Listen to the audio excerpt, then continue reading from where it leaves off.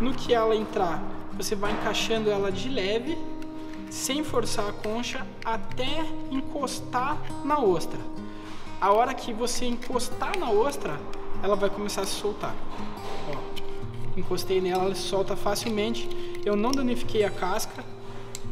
Não tem pedaço de concha dentro dela na hora do consumo. Se tiver, é só ficar de olho e tirar. E novamente a gente solta ela na base. Ó, essa é uma ostra que ela tá bem viva ainda, com bastante líquido dentro dela. Tá vendo? Esse líquido aqui, para quem é apreciador de ostra, é fundamental. Fundamental.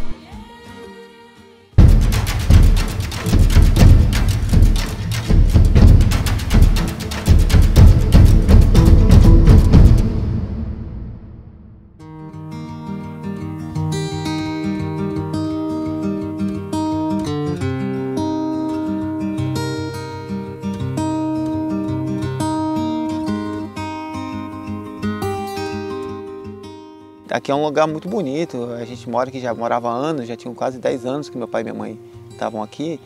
Então a gente fala assim, poxa vida, não tem como sobreviver num lugar, a gente precisa melhorar o jeito de viver nesse lugar, a gente não quer ir embora daqui, a gente quer melhorar a maneira de viver. Foi quando a gente começou a ter notícias que podia se criar ostra. Né? E a gente já tirava a ostra no mangue e levava para vender no mercado. Né? Só que vieram muito pouco dinheiro. Né? Aí eu falei para meu pai, falei, ah, se tem um jeito, a gente vai ter que fazer. Se existe uma possibilidade, vamos descobrir.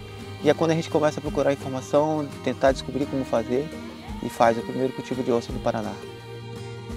Quando a gente começa a, a fazer as experiências, né, no comecinho ali do cultivo de ostra, a gente pega uma técnica que estava sendo utilizada em Santa Catarina, instala ela aqui e começa a pegar animais da natureza e colocar nesse cultivo, que também não era uma coisa que acontecia muito, muito no país não, era uma coisa meio inédita. E aí, de repente, nos primeiros três meses, a gente começou a ver que as coisas estavam indo bem. Né? Os animais estavam crescendo, a gente começou a experimentar as ostras, elas estavam muito boas. Né? E daí para frente, a gente foi começando a pegar mais animais e, e trazer para o cultivo, começou a habitar melhor ele e começar a chamar as pessoas para virem comprar as ostras. Né? Em vez da gente levar as ostras, a gente começou a, a chamar as pessoas para virem aqui comprar as ostras e assim que a história começou, as pessoas virem para o Cabaraquara comprar ostra. Meu nome é Juliano Seco, é, eu tenho 28 anos, sou chefe de cozinha há 4 anos, mas trabalho com restaurantes há 10, desde os meus 18. É, hoje em dia eu sou muito preocupado com essa questão do produto. Para mim, eu sou apaixonado por ostra apaixonado que eu digo assim, hoje em dia eu exploro versatilidade inclusive do preparo, inclusive é uma pena porque eu já errei várias vezes também por tentar coisas com as ostras, mas é um dos produtos que eu mais vejo potencial, porque é, de várias pessoas que eu conversei, várias coisas que eu li, várias coisas que eu escuto e tal, e de gente que conhece ostra, diz com propriedade que é uma das melhores ostras do mundo. Se, se você tiver que trazer uma ostra lá de fora para você comer, eu acredito que ela nunca vai ser tão boa quanto aquela que o carinha tirar de dentro da água e você pegar ela ali no barco mesmo e comer. A ostra de Guaratuba, ela é aquela é uma ostra que a água ela é mais parada. É uma, uma ostra de água fechada, né, na Bahia ali e tal. Então ela não tem a circulação da água ali dentro não é a mesma do que uma ostra que fique virada mesmo para o oceano. Então às vezes ela é uma ostra com um sabor um pouco mais concentrado de mineral.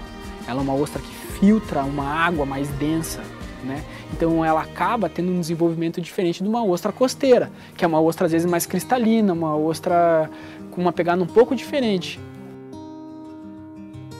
Toda a parte de, do ecossistema preservado, a Mata Atlântica, a Baía de Guaratuba ser uma baía de pouco e baixo impacto exploratório, mas digo de, de indústrias petroquímicas, indústrias é, essas coisas que às vezes se instalam em regiões que não deveriam, a gente não sofre isso por causa da APA, do Parque Nacional, de toda a área de preservação em torno da Bahia. Então a gente tem esse, esse, esse fator que ajuda a água da Bahia a ser de alta qualidade.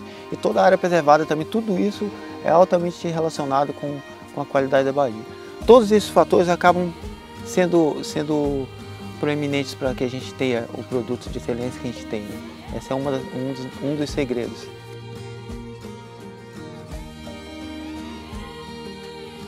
A APA de Guaratuba é uma unidade de conservação de aproximadamente 200 mil hectares.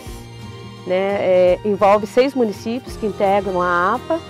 Foi denominada APA de Guaratuba porque o maior território é o município de Guaratuba, que é desses 200 mil, 131 mil hectares estão no município de Guaratuba. A população não sabia quais eram os objetivos da criação dessa unidade, né? Porque sempre vem aquela coisa de cima para baixo, impondo é, restrições que vêm, impondo os usos. E não, e dessa vez foi, é, foi diferente, né? Quer dizer, a gente construiu todo o plano de manejo com a participação da, da comunidade, da sociedade civil. Existe o uso né, da Bahia, dos recursos naturais, nós temos a pesca, nós temos criação de ostra na nossa Bahia, e ao mesmo tempo é, ela continua, ela está conservada.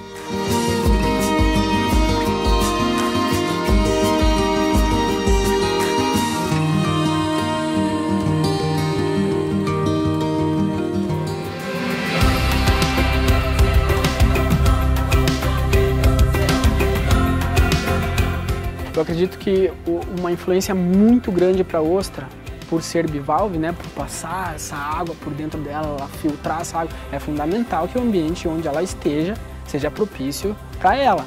Né? Então, não ter porto em Guaratuba, ali na Bahia, a movimentação de barcos ali também não é uma coisa tão intensa, é, mesmo que tenha o ferro ali para baixo ali, mas também é uma coisa bem centralizada e tal. É, faz toda a diferença. O, o cuidado do ambiente fundamental para o sabor dela. É, em relação ao porquê que essa ostra é tão boa, são duas coisas principais. A água e a espécie. Né? A água é muito boa e a espécie tem sabor diferenciado por si só. Né? Já é um animal que, que é diferente dos outros.